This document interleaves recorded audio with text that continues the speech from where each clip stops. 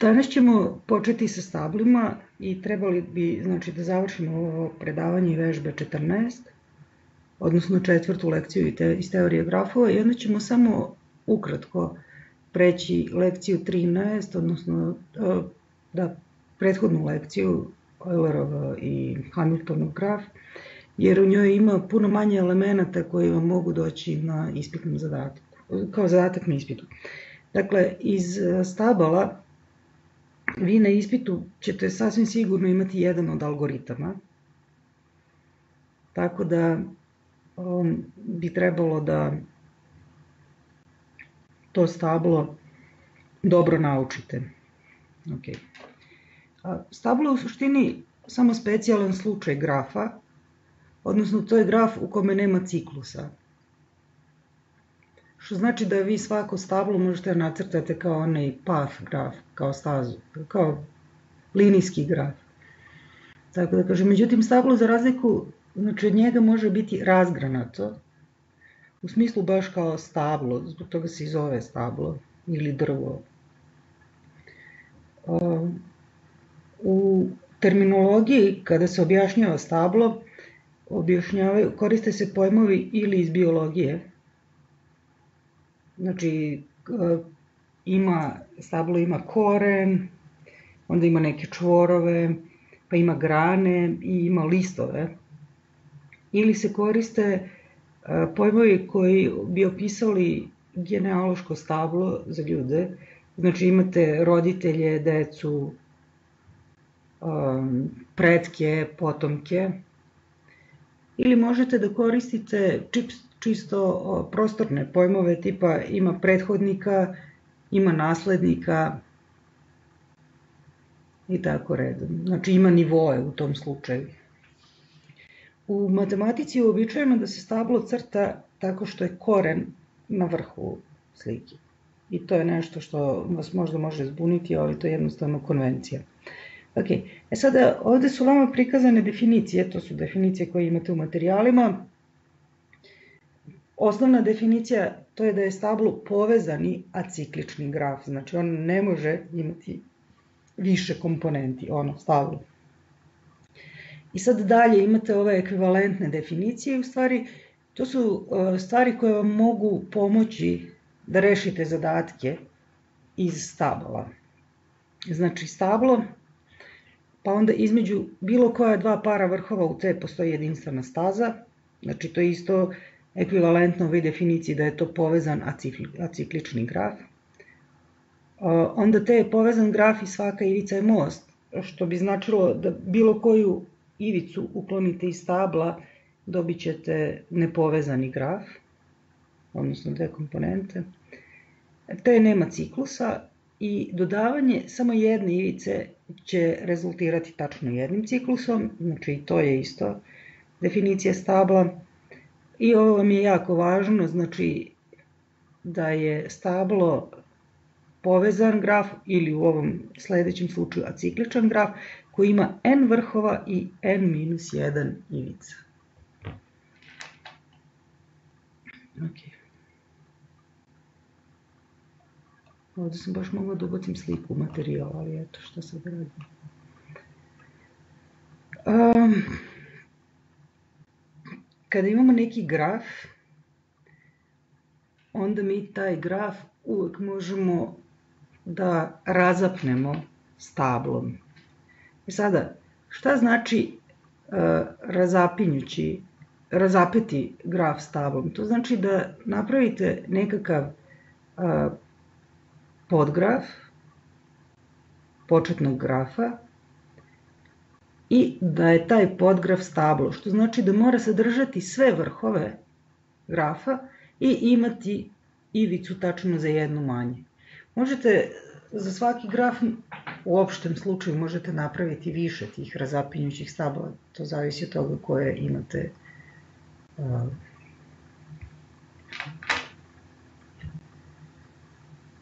kako izgleda graf. Okay. I sada, da bi konstruisali to razapinjuće stablo, vi možete koristiti i BFS i DFS, to su oni algoritmi koji smo radili prošle sedmice. Međutim, sada bi bilo korisnije da koristite ova dva dole algoritma. Znači, jedan od njih kaže ukloniti u svakom koraku ivicu koja nije most, sve dok preostale ivice nisu mostovi. I sada vidite, kada ovde kaže algoritam se završava kada je broj preostalih ivica za jedan manji od broja vrhova grafa, u stvari na taj način on koristi jednu od ovih definicija, znači stablo je propovezan ili je cikličan graf, povezan i acikličan, sa n vrhova i n-1 ivice. Znači koristimo definiciju u, svakoj, u svakom od ovih algoritama. Ok. Ili možete krenuti od skupa vrhova i znači da sad iz onog grafa koji imate pored sebe um, dodajete u svakom koraku ivice tako da se ne formira ciklus. I ponovo koristite onu osobinu da stablo ima n vrhova i n-1 ivice. To je ovaj na kraju. Znači ova dva algoritma su u suštini najlakša koja se mogu koristiti za konstrukciju razapinjućeg stabla. Ta dva algoritma, ova dva algoritma ćete videti i kasnije, samo što se u kasnijim primerima u stvari još dodaje težina uz ivicu grafa, znači ivica se na neki način obeleži i ona se ne obeležava proizvoljno, ona se u stvari obeležava u zavisnosti od toga koji primer iz prakse želite da rešite. Na primer, ako imamo mrežu puteva u BIH i ako su sad nas, raskrsnice, čvorovi, a putevi između raskrsnice su ivice grafa, I ako u svakoj ivici, znači svakoj deonici puta između dve raskrsnice, hajde da kažemo da su to neke velike raskrsnice, ne baš one male raskrsnice, znači da svakoj deonici puta dodate kilometražu, koliko kilometara ima, na taj način bi vi imali jedan graf koji sad više nije ovaj prost graf, nego graf koji simulira mrežu puteva u Bosni i Hercegovini, na primjer. I ako želimo da dođemo iz Mostara do Kravica, mi možemo naravno da dođemo na više načina. Jel znate kako možete da dođete do Kravica?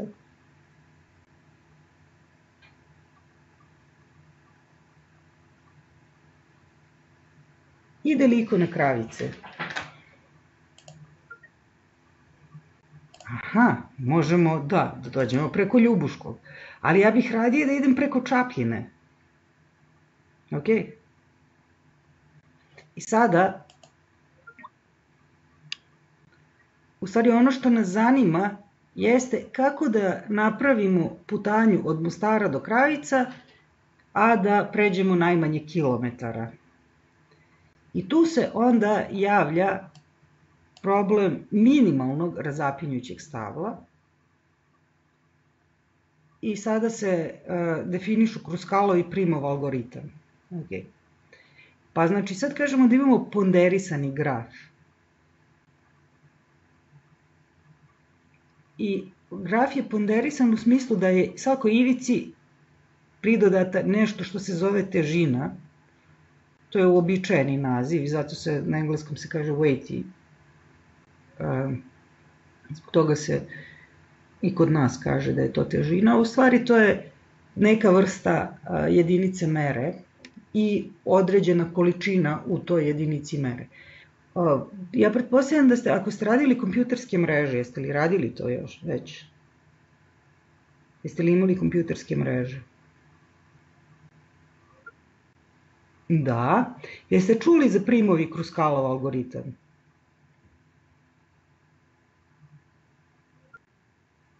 Ne, nismo čuli. E pa dobro, čućete, čućete do godine kad budete ponovo imali mreže. Dakle, to su dva algoritma koji su u stvari razvijeni zbog IT-a i koji su razvijeni zbog prenosa paketa kroz mrežu. I sad nas u stvari zanima ako imamo određeni kapacitet i brzinu prenosa između dva računara, kojom ćemo putanjom preneti ovu informaciju od mog računara do vaših računara, tako da potrošimo najmanje para. Ok, i ako imam, znači sve moguće putanje, njih mogu da predstavim, pošto idemo preko servera, mi kad se čujemo sada, znači njih mogu da predstavim pomoću neke mreže u kojoj su, uh, pomoću grafa u suštini, u kojoj su računari vrhovi, a linije između njih, odnosno veze između njih su ivice i svaka od tih veza ima određeni kapacitet,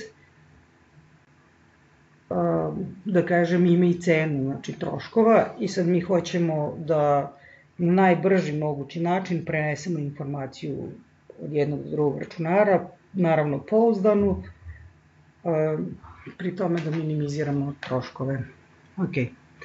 I zbog toga se ovde govori o minimal, minimalnom razapinjućem stablu. Znači, ako je dat ponderisan graf, težina predstavlja zbir, zbir svih pondera ivica u T, to je težina čitavog e, stabla, što znači da ćete sabrati nakon što odaberete i onda ćete tražiti može se, kaže u tom slučaju može se konstruisati minimalno razapinjuće stablo, znači za svako moguće stablo vi ćete u stvari tražiti uh, težinu i onda ćete odrediti ono stablo koje ima minimalnu težinu. Ok, i to se zove minimalno razapinjuće stablo. Jel se neko seća šta je razapinjuće stablo? Ne baš. Znači, razapinjuće stablo to je ono koje ima sve vrhove i minimalni broj ivica. Ok? mora imati sve vrhove, to morate imati stalno na umu. I sada imamo ovde dva algoritma za nalađanje minimalnog razapinjućeg stabla. U svakom koraku se bira ivica najmanje težine tako da se ne formira ciklus. Ok? Da se vratim gore, u svakom koraku se dodaje ivica tako da se ne formira ciklus. Ok? Ovo je u stvari kada, ovo je osnova za Kruskalov algoritam. Znači vi nacrtate kao prazan graf i hoćete da mu dodajete ivice, imate pored sliku onog grafa koji je zadat i vi bukvalno gledate i ova ivica ima najmanju težinu, ok, idem redom. Za razliku od njega, znači, kod Kruskalovog algoritma krećete od praznog grafa, odnosno od vrhova, i dodajete ivicu koja ima najmanju težinu i samo vodite računa da, nemate, da ne pravite ciklus. A kod primovog algoritma krećete od proizvodnog vrha i u svakom koraku birate ivicu najmanje težine iz skupa ivice koje spajaju neki od već odabranih vrhova sa nekim od onih koji još nisu odobrani i sad ćemo mi da ne bi vi umrli od dosade uzeti ovaj fail i videti evo ga a, hajde vi pokušajte sada da mi kažete znači trebalo bi da nacrtamo prazan graf.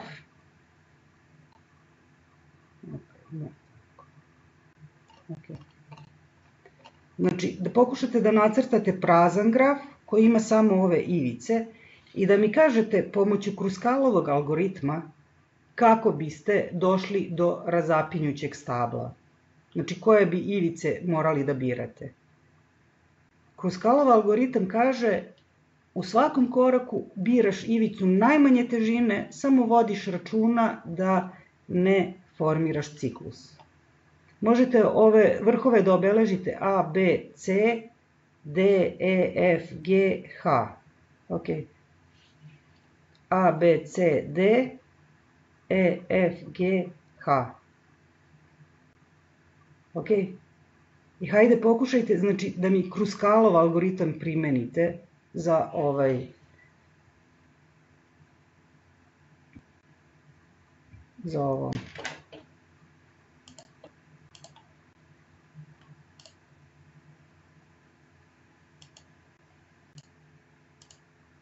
Dakle, primenom Kruskalovog algoritma u našem slučaju, mi smo dobili jedno ovakvo stablo samo birajući ivice. Pri tome, mogli smo da odaberemo dve ivice sa težinom 1, to su one obe koje su bile, Imali smo tri ivice sa težinom 2, ali nismo mogli da odaberemo sve tri jer bi formirali ciklus.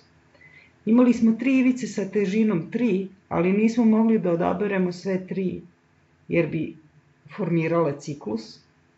Kako god okrenuli da ste imali ovde ovako, opet bi treća formirala ciklus uvek i, i jednu smo odabrali ivicu sa težinom 4. I sada kada saberemo sve ove brojeve, sve težine, mi dobijamo ukupnu težinu stabla. E, ovde imamo u ovom slučaju, znači u slučaju grafa sa ove slike, mi možemo da dobijemo četiri razapinjuća stabla. Ni u jednom neće biti ova šestica, sedmica i petica,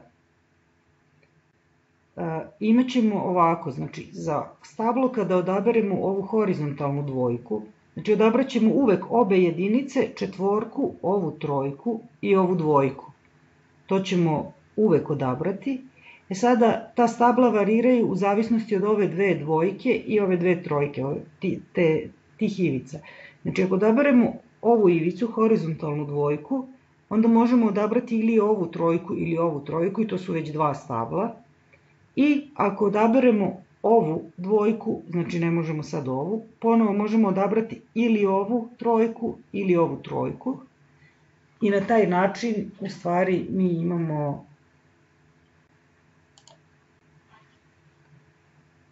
um, četiri različita razapinjuća minimalna stabla i sva ta stabla imaju isti zbir težina koji iznosi koliko?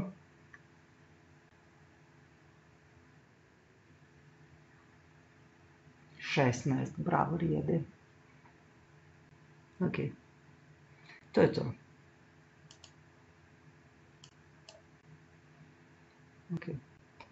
E sada, u materijalima je detaljno, znači to je bio Kruskalov algoritam, u materijalima je detaljno objašnjen Primov algoritam, Mislim da smo krenuli od ove ivice. Od ovog vrha. To je bio gornji levi. Ja bih vas sada zamolila da pokušamo da primenimo primov algoritam, ali da krenemo od donjeg desnog vrha. Ja ću ponovo pauzirati dok mi to radimo. Dakle, ako hoću da krenem iz donjeg desnog ugla, Ja u startu imam izbor dve ivice, obe su iste minimalne dužine, to je 1, i odabraću jednu od njih. Sada imam dva odabrana vrha i moram da vodim računa, znači da ih spojim sa ivicama koje još nisu odabrane. Sada imam izbor ivice 1, 2, 3 i 4 samo jedna od tih ivica je minimalne dužine, to je 1, prema tome odabraću sad i ovu ivicu. Tako da sam sada odabrala obe jedinice. Sada imam odabrana tri vrha, iz njih vidim 1, 2, 3, 4, 5 ivica.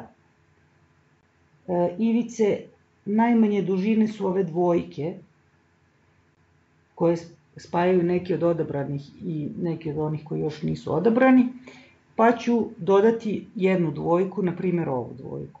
Ok, sada imam tri odabrana vrha, iz njih vidim ivice, znači ovu ivicu više ne vidim jer bi ona spajala dva već odabrana vrha, iz njih vidim ove dve trojke, vidim ovu sedmicu, šesticu i četvorku. I sad naravno odabraću jednu od ove trojke dve trojke, recimo ovu trojku.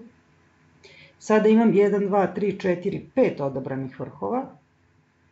E, između njih ovu ivicu više ne mogu da koristim jer spaja već dva već odabrana vrha. Ni ovu ivicu ne mogu da koristim jer spaja dva već odabrana vrha. Znači iz njih vidim 1, 2, 3, 4 ivice. I e, ivica najmanje dužine je ivica dužine 4, pa sada nju biram. Imam 1, 2, 3, 4, 5, 6 odabranih vrhova. Iz njih vidim ovu, ovu, ovu i ovu ivicu. Ivica najmanje dužine je trojka, prema tome biram nju. Sada imam 7 odabranih vrhova, vidim ovu dvojku, e, vidim ovu šesticu, u stvari nju više ne vidim, jer bi mi ona spojila dva već odabrana vrha. Vidim samo peticu, sedmicu i dvojku. I biram dvojku, pošto sam odabrala osam vrhova, odnosno sedam ivica, završavam proces. Znači, taj, e, taj proces je jako dobro opisan u materijalima i na ispitu se mora zapisati algoritam, primov algoritam je ovde bio, i onda se e, mora nacrtati ovako po koracima, znači baš kao što je u materijalima nacrtano, pri čemu se mora obrazložiti zašto neka ivica može ili ne može da se bira. Znači sada, ovde je krenuo iz gornjeg levog ugla, birao je dvojku, pa je birao trojku, pa je birao četvorku, pa je sad birao jedinicu, pa jedinicu, pa je onda jednu od dvojki, I onda sad se mora napisati, ovde se nije mogla odabrati ova ivica zato što spaja dva već odabrana vrha.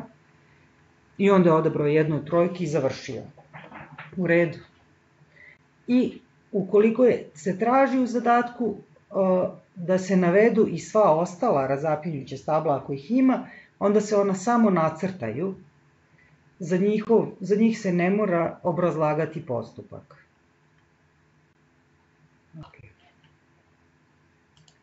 Time smo prešli Kruskalov algoritam, znači koji je ubedljivo najjednostavniji algoritam ovako kako zvuči, ne baš za implementaciju, jer je ovaj, u programiranju ovaj problem a, tako da se ne formira ciklus. Primov algoritam a, je jednostavniji zato što iz spiska ivica on uvek bira ivicu koja ima najmanju težinu, a kada odabere ivicu, onda označi vrhove da su odabrani i onda pita imaš li ti ovaj kraj, nemaš, može, imaš li ovaj kraj, oba kraja odabrana, imam, e onda ne možemo da te biramo. I gotovo, znači uvek bira samo ivicu kod koje je samo jedan vrh odabran. Međutim, Kruskalov ima baš ovako komplikovan, komplikovano rešenje za ovo tako da se ne formira ciklus. Um, E sada, imamo dalje stablo s korenom. I od tih stabala sa korenom mi radimo binarno stablo. Ono će vam trebati na informatici, na algoritmu i strukture podataka, strukturama podataka iduće godine. E, u opštem slučaju ono se zove emarno stablo ukoliko ima e, svaki vrh dva deteta, zove se binarno, pa bi se zvalo ako bi svaki vrh imao tri deteta, trinarno i tako redom. Znači, čisto ono da se zna da svaki vrh može da ima određeni broj dece, pri čemu o, to deca mogu biti i prazno, tako da kažem, tako da ne mora da ima sve vrhove, ali to o tom potom. Znači, e, i e, stablo s korenom je bitno zato što se jedan vrh odabere i nazove koren. Znači, mi smo sad videli ovo, recimo, stablo, izvinjam se, ovo stablo. Ako bih ja odlučila da ovaj vrh tu nazovem korenom, evo ovaj vrh, znači ja bih to sad prozvala stablo s korenom i kraj priče. Znači, to je bukvalno ista stvar, samo što ste uh, nazvali odredili da vam je jedan vrh specijalan. U, ako hoćete da pogledate nečije porodično stablo, da pogledate pretke, onda bi bilo korisno da imamo to stablo s korenom, pa bi tamo onaj najdalji predak do koga možete da dođete u stvari bio koren stabla, a svi ovi dalje bi se granali. Okay. Znači, u nekim slučajevima modeliranja to ima smisla. E sad ponovo uobičajeno je da se koren crta na vrhu.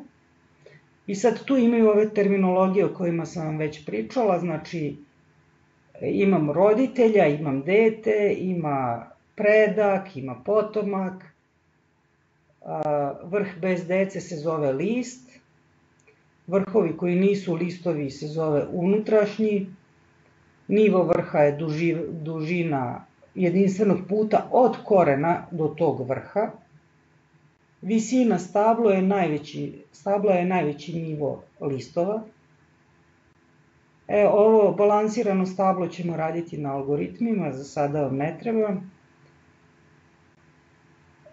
I ovo ovde ćemo raditi na algoritmima, za sada vam ne treba. Ove relacije nam isto ne trebaju za rad sa zadacima, ali nam trebaju ovi algoritmi za obilazak uređenog stabla i najpoznatiji algoritmi su pre-order, in-order i post-order. Pre-order kaže da se poseti koren, zatim se posete vrhovi iz levog podstabla u pre-order redosledu, pa vrhovi uz, iz desnog podstabla u pre-order redosledu i ukoliko ima više, znači ako nije binarno stablo, ako ima više ako je dece, onda bi se obilazili u stvari iz svakog postabla s leva na desno. I to je pre-order, znači koji ide s leva na desno. In order, prvo se obeleži, prvo se obiđu vrhovi iz levog podstabla, pa koren, pa vrhovi iz desnog podstabla, tu ćemo se mi zaustaviti, i post order, Prvo levo pod stablo, pa desno pod stablo, pa koren. I na taj način vi u stvari možete da obiđete stablo na različite načine. Stavit ćemo pauzu. Znači ja sam sada nacrtala jedno stablo i uh, hoću da primenim pre-order redosled obilaska tog stabla. Pre-order kaže poseti koren, zatim poseti levo pod stablo, u pre-order redosledu,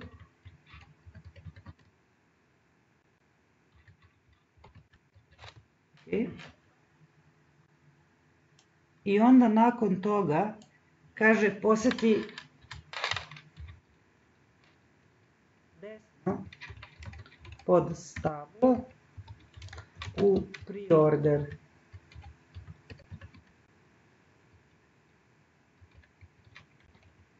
Redosledu. Redosled nema i, jel da? Ha? Redosled ima i ili nema i? Redosled. Redosledu. Nema i.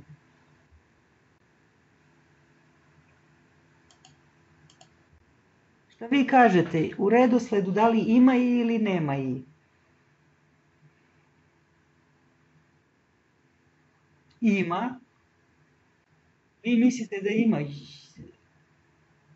u redosledu. Opa, ok, onda ćemo da mu stavimo i. Ako ste se vi svi složili da ima, onda ćemo mu staviti i. Ok. O ne. Dobro. Aj vi sad znate šta piše. Posjeti levo pod stablo u pre-order redosledu. O majko, moja sad moram ponovo da pišem.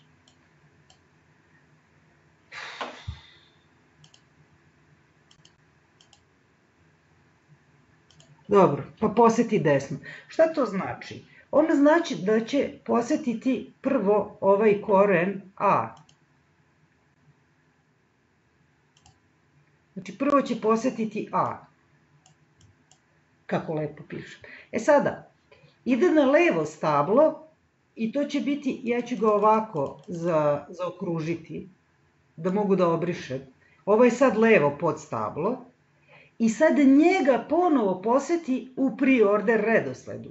Znači, posle njega će posetiti ponovo koren, pa će reći poseti levo podstablo, sad je to ovo levo podstablo, u pre-order redosledu, znači poseti D, pa komu je sada sledeće poseti levo H, tako je. Ok. E sad, kada nema više levih podstabala jer je H list, gde će onda da ode?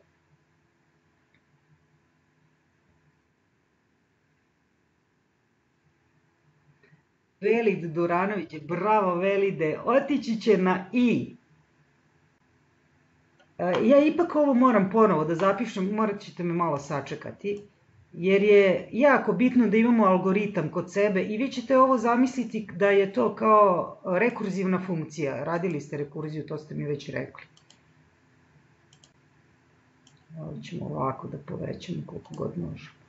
Znači, i smanjit ćemo font na osmicu,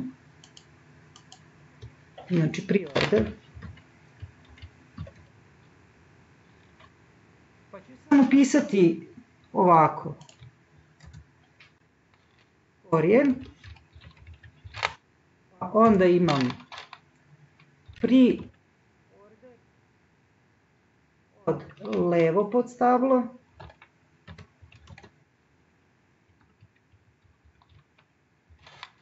onda imam pre-order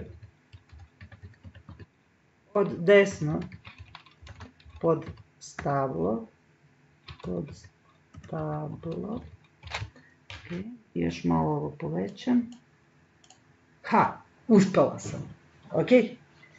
Znači e, kada je on posetio koren h i nema više gde onda tu, naravno, ukoliko ovo podstablo nije prazno, on ide i obavi ovo poseti desno pod stablo iz ovog najunutrašnjeg. E sad kad je njega završio, gde će se vratiti? Vratit će se na E, ok? Zato što je D je već posetio, B je već posetio i sad radi od ovog podstabla, desno podstablo, to je E. Ok. E sad je ova sva podstabla završio. Gde će sad doći? Posetit će desno podstablo, to je sad ovo podstablo, pa će onda uzeti C, pa posle C-a će uzeti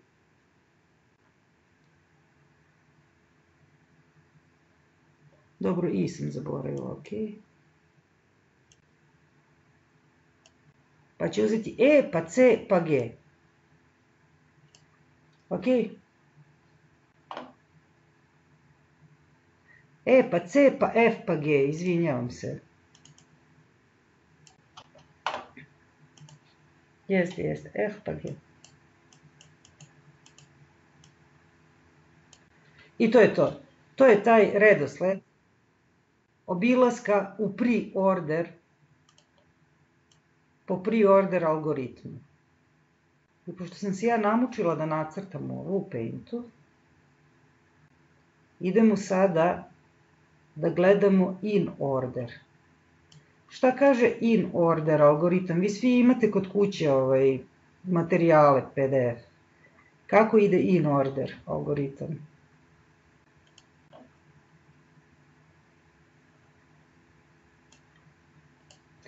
Kako ide in order?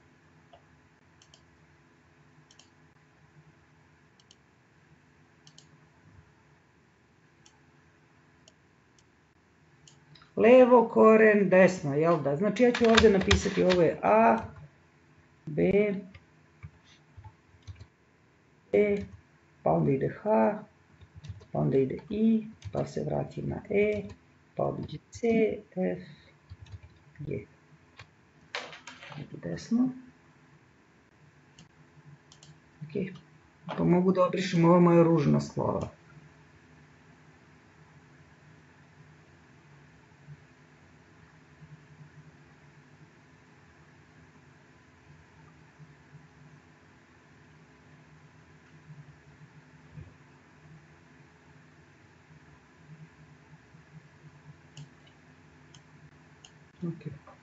Znači sada idemo na in order.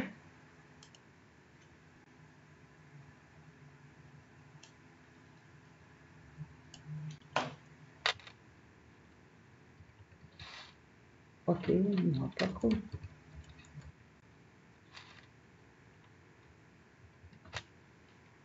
ali sva slova su ospicen. On kaže in order od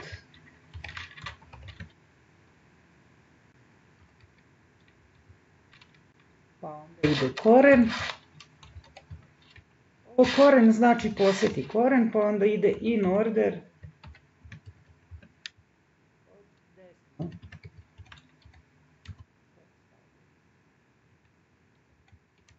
I ovi su algoritmi jako jednostavni za implementaciju. Okay. E, hajmo, kako će ići in order?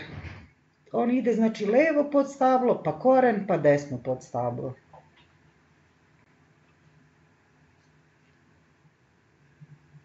H, D, I, B, E, bravo Adna!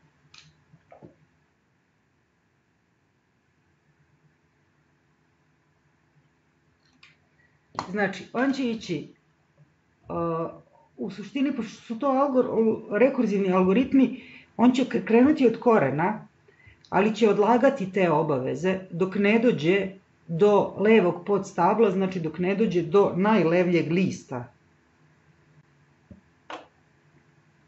Pa će ići ovim redosledom. Znači, uh, ćemo bilo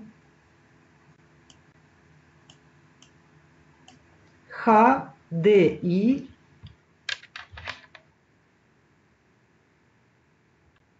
pa ko ide posle I? Ide B, tako je. Pa ide E, pa onda ide A, pa E, pa ko ide posle A? F, bravo. Zašto ide F? Zato što je to najlevlje pod stablo, pa ide C, pa ide G. I to je to. Ok. Znači uvek ide prvo najlevlje pod stablo, to je ovaj H, pa koren, pa desno, pa onda se vraća na ovo pod stablo, pa znači koren, pa desno, pa je sad to levo pod stablo obišao, pa zbog toga ide na koren, pa onda ide na desno pod stablo, ali ponovo u in orderu, što znači da mora da e, ide F, C, G. Ok. Znači mi to da ovo pomerimo pri order.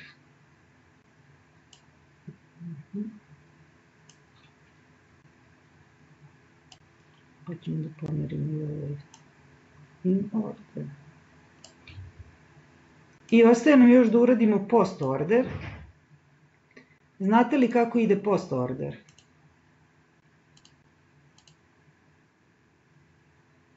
Levo, desno, koren, jeste. Znači post order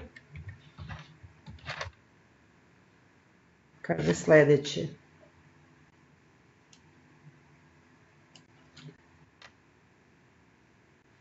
Um,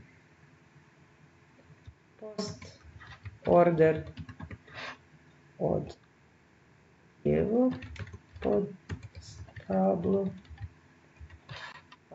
ide post order od desno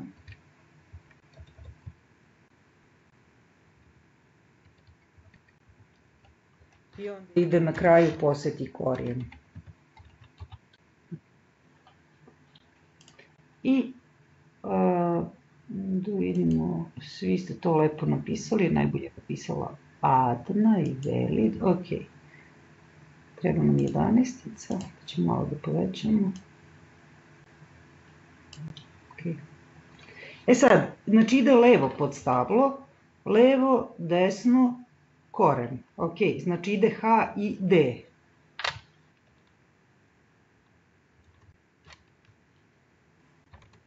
To je obišao sada levo ovaj deo mali.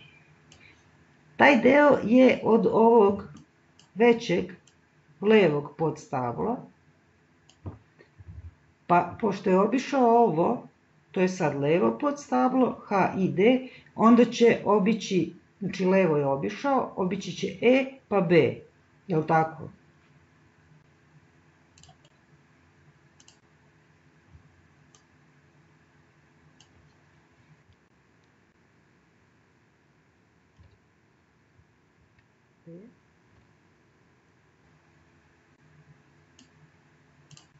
EB, ok.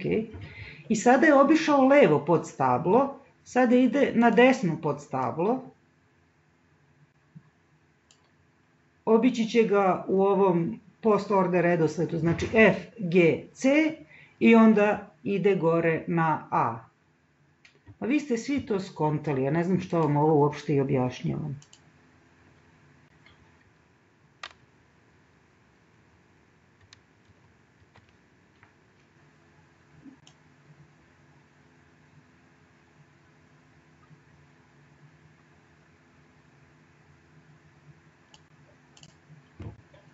Ok. I na taj način smo mi obišli čitavo ovo stablo u in order, pre-order, in order i post-order redosledu. Ovo su isto algoritmi koji vam dolaze na ispitu.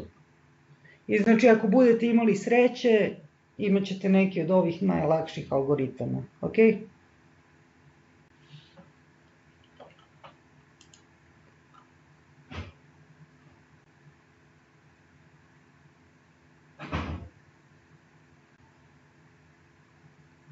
Još nisam samo Harisa Osmanovića zapisala. Samo da pročitam ko mi je danas bio aktivan.